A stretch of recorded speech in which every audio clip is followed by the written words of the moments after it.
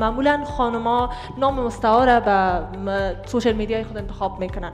فکر می‌کنم اولین مشکل بزرگی است که اونا به خاطر از اینکه یا فامیلایشان برشان اجازه نمیده تا در social media باشن و یا ای که از آزار اذیت میترسن و به می خاطر نامای مستعار انتخاب می‌کنن.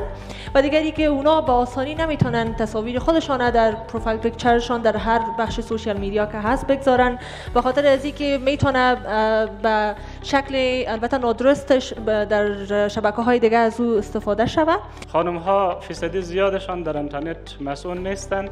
از لحاظ است که در خیلی از خانواده ها وقتی دختر خانومش یا خانومش یا خواهرش می‌خواد که از فیسبوک استفاده کنه یک دید بسیار بد داره در برابرشان.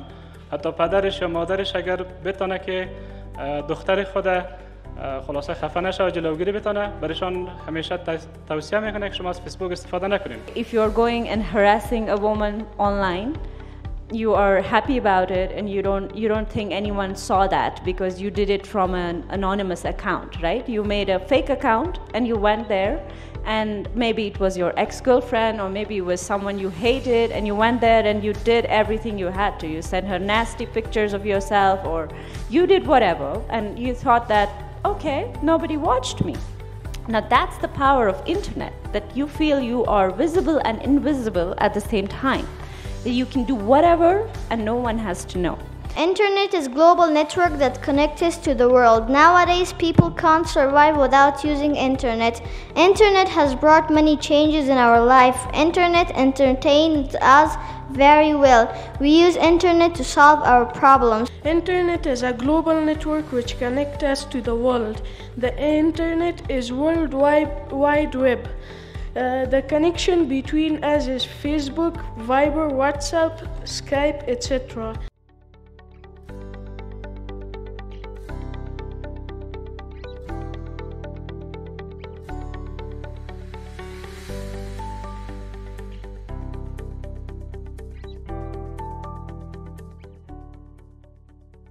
د انټرنیټ خوندي ورځ.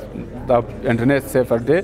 د دې تجلیل و نو ډیره مهمه ورځ ده. په افغانستان کې د ټیکنیشن سره یو ځای مونږ بل منځله دا ورځ په اکثره دنیا کې کېږي څنګه انټرنیټ خلک سه استفاده کوي. خصوصا ماشومان خويندې او زناناوي دغه د انټرنیټ څخه سه استفاده وکړي. نو د خطر باندې موږ غواړو چې خلکو ته آگاهی هم ورکو او خلک خبر شي چې انټرنیټ استعمال فایده هم لري او نواقص هم لري. خصوصا اطفال لپاره خوانده لپاره امروز ما در اینجا جمع شدیم تا که بتانیم از طریق برگزاری یک روز به نام Safer Internet Day یا safety و امنیت اینترنت به قسم یا به نوع آگاهی بتیم برای مردم از طریق panel discussion هایی که ما داریم از طریق سخنانی هایی که ما داریم.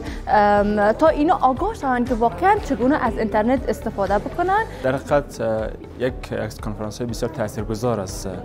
به همون میزانی که اینترنت اطلاعات گسترش پیدا کرده به همون میزانی که در دنیای اینترنت مزایا و خوبی ها و سهولت باورده به همون میزان اذیت ها و بعضی مشکلاتی ریز در دنیای اینترنتی ما داریم. پروگرامی که امروز داشتیم پروگرام خیلی خوب بود. ما چیز یگان چیزی که ما یاد گرفتم می بود که متاسفانه ذهن ذهنیت اول باید ذهنیت خود در مورد اینترنت باید تغییر بدیم که اینترنت چی است بفهمیم که اینترنت به خاطر چی است چگونه باید یعنی استفاده بکنیم.